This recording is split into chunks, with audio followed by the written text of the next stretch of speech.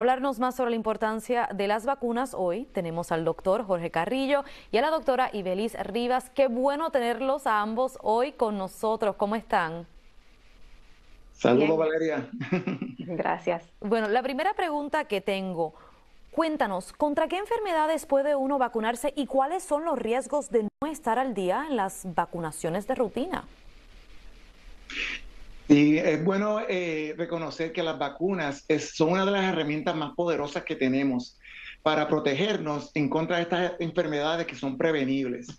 Actualmente en Estados Unidos hay 16 enfermedades que se pueden prevenir gracias a la vacunación rutinaria desde la infancia hasta la edad adulta. Y esto incluye la influenza, el virus respiratorio sensitial, papera, sarampión, varicela y otras enfermedades.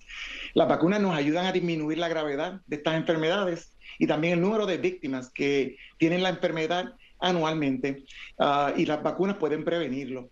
Hemos visto cómo vacunas han ya casi eliminado ciertas enfermedades peligrosas como el polio y la viruela, que son virtualmente o completamente eliminadas, pero todavía tenemos riesgos como la, el virus respiratorio sensitial y la influenza, donde tenemos vacunas que pueden prevenir las hospitalizaciones y las complicaciones de estas enfermedades.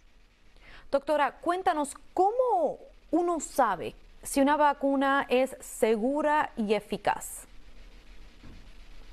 Ah, las vacunas van, están por promedio de la FDA, los chequean y ven si están seguras y eficientes.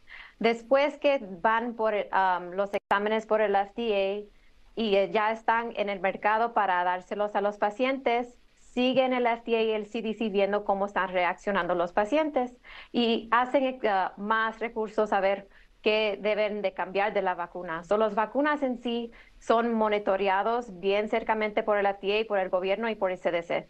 Y doctores, le hice esa pregunta porque como ustedes bien saben, hay muchas personas que a veces tienen dudas si ponerse o no una vacuna, dudan si es segura, tienen miedo de los efectos que pueden suceder en el futuro. Por eso es importante también hacer preguntas. ¿Qué recomiendas a los pacientes? ¿Qué preguntas les recomiendas que hagan a sus farmacéuticos, doctores o profesionales de salud sobre las vacunas?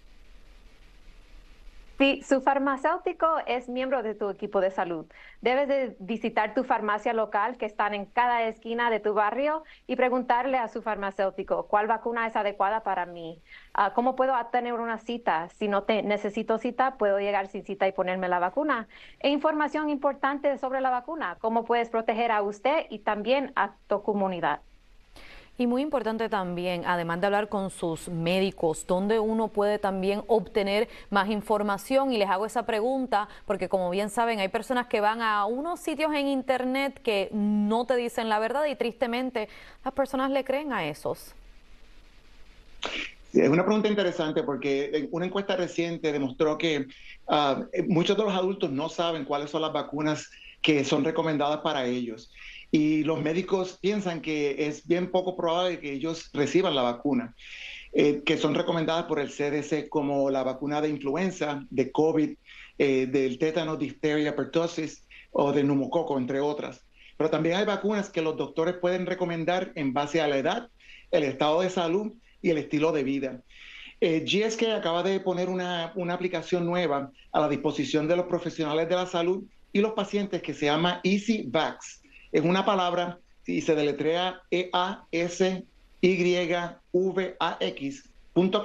y esta aplicación ayuda a que los doctores refieran a los pacientes a la farmacia de comunidad para recibir la vacuna y también permite que los pacientes identifiquen las vacunas que necesiten, localicen la farmacia y puedan hacer citas rápidamente para recibir la vacuna. Me encanta que Sí, y me encanta que tocaste ese tema porque cuando yo era niña mis padres sí mantenían un registro de todas las vacunas que ya nos habían puesto y la que ya no nos habíamos puesto como adulta. Yo no he hecho eso, pero como ustedes bien claro dice, hay que hablar con sus médicos, hay que ir a ese, esa página de internet que ustedes mencionaron para estar al día eh, e invitar a nuestros padres y ser responsables con las vacunas.